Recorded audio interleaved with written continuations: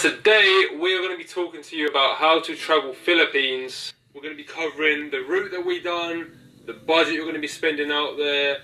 We're going to be covering accommodation, transportation, and also food. So, Philippines is known as the land of smiles, and we can honestly see why because Philippines was filled with the most friendliest people. When we visited the Philippines, we were shocked at how little tourists there was.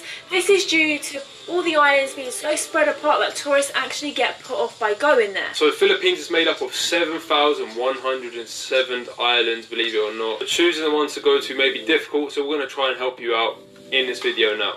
So you will most likely catch a flight and arrive in either Cebu or Manila. For us, we arrived in Cebu, and although there isn't too much to do there, it did give us a nice feel of the Philippines. I'd say two days is plenty. After Cebu, we then jumped on a ferry, well actually three ferries, which took in total six hours to get to Siquijor Island. For us personally, we didn't have the best experience at Siquijor Island. However, loads of other people we spoke to said they had an amazing time do go to Siquijor Island, but do not stay at a place called Tourist Guest House. We're not going to go into detail on it, but it was the worst hotel we stayed at in six months of traveling in Asia, so do not go there. Bed bugs, just disgusting. Don't go there. But Siquijor is meant to have some really incredible things. Yeah. There's waterfalls and there's a really crystal clear beach, so do not get put off by what we are saying. Yeah. So after our time in Siquijor, we then got on a ferry, which took us all the way to Oslob, which is our favourite destination in Philippines. We used to take the moped out around there and just drive around the little villages, and everyone would be so friendly, waving at you, smiling, always willing to help, and it's just a really cool little town. So during our time in Oslob, we swam with the amazing whale sharks. It was super cheap, like twenty pounds, and it's a really Yeah. great experience. We visited waterfalls, and we also had some of the best mangoes of our life. and they were the cheapest as well. So after our time in Oslob was finished, we then moved on to Bohol. I can't say it properly. Bohol. Bohol or Bohol. Bohol. And we went there, and this was the most developed place we had been to in the Philippines. We had some great times there as well. We went to see the world famous tarsiers, and tarsiers are becoming extinct, so it's really nice to see those animals. We saw the most beautiful beach in the Philippines there. Had a few litre bottles of beer that we found there, which was like 70p for a massive litre bottle of beer. And we even witnessed six people on one Yeah. moped. After Bohol, we went back to Cebu and caught a flight to Puerto Princesa. When you're in the Philippines, you will either be doing El Nido in Palawan or you will be doing Boracay. They're both meant to be beautiful. We just chose Palawan. So from Puerto Princesa, we actually felt really, really sick. I got seriously ill, bedbound for the next two to three weeks in Philippines, so we did not get to experience any of this. However, we are still going to explain the route that you can do. In Puerto Princesa, there is the underground river. Most people only stay one night and then they catch a six hour ride to El Nido. Also, another tip for El Nido all the hotels are quite pricey and really basic. Electricity cuts out and Wi Fi is a bit scarce, but it is meant to be extremely beautiful. I would not miss El Nido. That is a possible route that you can do. Like John said, there is over 7,000 islands, so your route may be very different.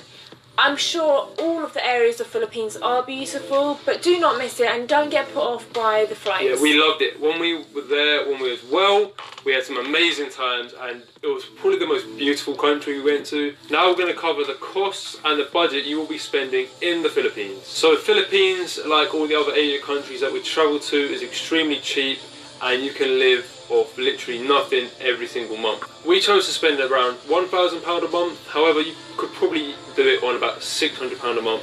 We just spent a little more, stayed in a few nicer hotels, ate a bit more expensive food. If you're on a tight budget, £600 is a reasonable number to spend. accommodation.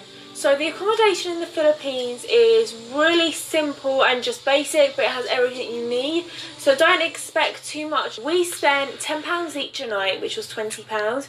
However, you can get homestays and hostels as cheap as three to four pounds. So if you are on a tight budget, then you will find good hostels. The food.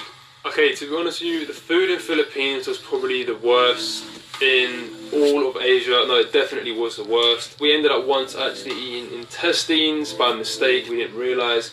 and there just wasn't that much availability for nice food. However, the one thing they do do that's good is a lot of barbecues, so you're saved for that.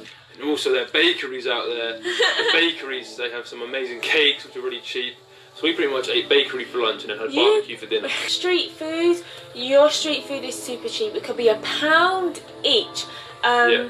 In Philippines, like I said, it's not built up for tourists, so you're not really going to find many restaurants. And bakery goods are around 5 to 10p each. So cheap. cheap. If all else fails and you hate the food, you're just going to have to live off fruit your whole time. Literally, but the food in Philippines, sorry to the Filipinos out there, disgusting, man. The transport.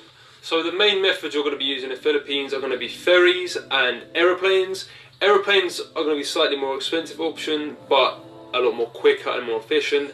Ferries are going to be a lot cheaper, but will take a lot longer, and it won't be the comfiest journey. So it's up to you on your budget, depending on what you want to do. In terms of flights, you can get really cheap flights through Air Asia. Just book in advance, and you can get flights around £30 each way. It's super cheap. So just for getting around your local villages and towns, obviously you're going to be getting in tuk-tuks, you're going to be jumping on mopeds, and also we actually a few times jumped on the back of a moped, someone else driving it, so a moped taxi. I'd say the best way to get around and the cheapest is probably getting a moped out. If you haven't had a moped before, they are safe. Do your research beforehand, but mopeds are the best way and cheapest really. Also, if you're going to be getting a moped out, the best way to probably do it is through your hotel. It might be a little bit more pricey, but I just found it to be more safe that way. Then you sort of have that trust with your hotel compared to just going to a shop where they might rip you off. Not definitely, but they might. Now we are going to be covering 10 top tips that are going to come in handy whilst you travel throughout the Philippines. Tip number one. If you are catching a flight to the Philippines, they will not let you enter the Philippines unless you have booked an outward flight. So make sure that you book an outward flight before entering the Philippines, otherwise you will not be allowed. Tip number two, as I said before, the food is really nothing special. Don't expect anything nice and prepare for this. Especially if you're coming from Thailand, you're going to be disappointed. So tip number three, if you are traveling to Oslob, there is only one ATM machine, which is probably about a 45 minute drive. In El Nido, there is no ATM machine, so make sure you stock up on your cash and then you won't need to worry. Tip number four. When you are in the Philippines, make sure you try their fruit, even if you don't like fruit, especially the mangoes. They were the best we've ever had in our life and they were so cheap. Tip number five, rent out a moped. I think it's a necessity to rent out a moped. You get to explore the island for yourself, stop when you want, see what you want. It's 100%. And you know what the best thing about renting out a moped is? Everybody says hello to you. It's You a great it, yeah. So check out the video on the screen now of our adventure we had in Oslob and you'll get a really good idea why you should be taking out a moped. Tip number six. As said before again, if you are starving and you can't find anywhere, because normally for us barbecues came out in the evening time, just live off bakery food, just eat cakes for lunch and you might get a bit overweight but it's good and it's worth it. Tip number seven. Don't ever be afraid to approach the Filipinos. They are so friendly.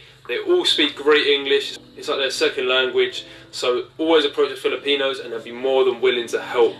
Tip number eight. Book your flights in advance so you can get them as cheap as possible. Air Asia is the best airline to book. Tip number nine. Make sure you go to Oslob and go and swim with the whale sharks. It's very cheap for the great experience you're going to have from doing so. And you just have the most amazing time. You see these massive sharks, but they won't eat you. Don't worry. Tip number 10.